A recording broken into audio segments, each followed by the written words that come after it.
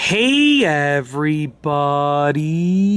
I'm here today to show you and tell you how to drill a pilot hole for a screw. This will be a very easy tutorial, so let's get right into the video.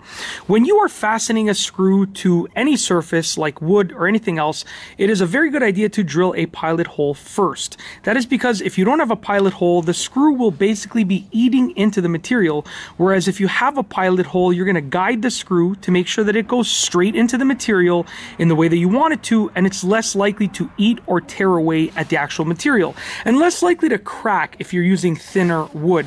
This is a pretty thick piece of wood, as you can see right here, that I've secured to some other pieces of material for the purposes of a few videos.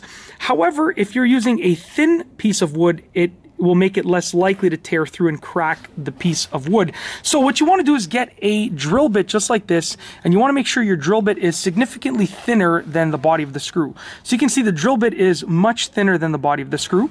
It's very easy to do. You want to pick your spot that you want to drill your pilot hole, which will end up being the spot that the screw is secured into or fastened into. And you want to drill down a little bit. You don't need to go the entire length of the screw, but just a little bit. So I'm going to drill down just like that. I'll pull it out and I'll go a little bit further down. Just like that, okay? So what I've done is I've drilled down over here. That is my pilot hole. You can see it's a very, very small hole. That's all that you'll need. Now what I'm going to do is I'm going to quickly swap the battery um, into my other drill. So just bear with me for a moment because my other drill, which is my impact driver, is what I will use to um, fasten the screw down. So I have the impact driver right here, and it's what I will use to fasten the screw down. I'm going to place the screw inside of the pilot hole. Really convenient because you actually get a little bit of guidance for it. So I'm going to make sure it's nice and straight. I'm going to put my impact driver on forward gear. I'm going to line it up nice and straight, and then I'm just going to drive the screw down, just like that.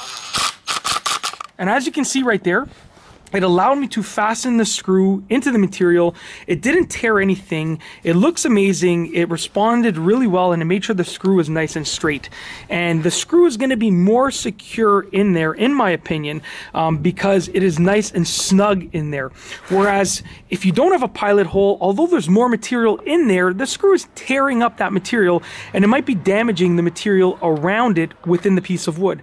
So by having a pilot hole, you're less likely to crack the material and you're more likely to have a nice and secure screw that is fastened in place. And that's it. If you like this video, please be sure to give it a thumbs up. Let me know what you think down below as a comment. And of course, be sure to subscribe for more great videos just like this one. And that's all I have for you today. Thanks for watching.